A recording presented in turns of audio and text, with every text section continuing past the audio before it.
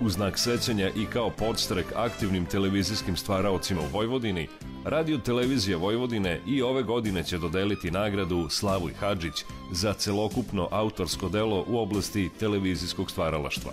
Uz diplomu i plaketu predviđen je i novčani deo nagrade u vrednosti od 1000 evra. Pravo predlaganja kandidata za nagradu imaju sve redakcije, strukovne organizacije kao i druga pravna lica i pojedinci. Predloge sa obrazloženjem i prilozima dostavite do 1. novembra na adresu Radio Televizija Vojvodine, Ignjata Pavlasa 3, 21.000 Novi Sad, sa naznakom Predlog za nagradu Slavoj Hadžić.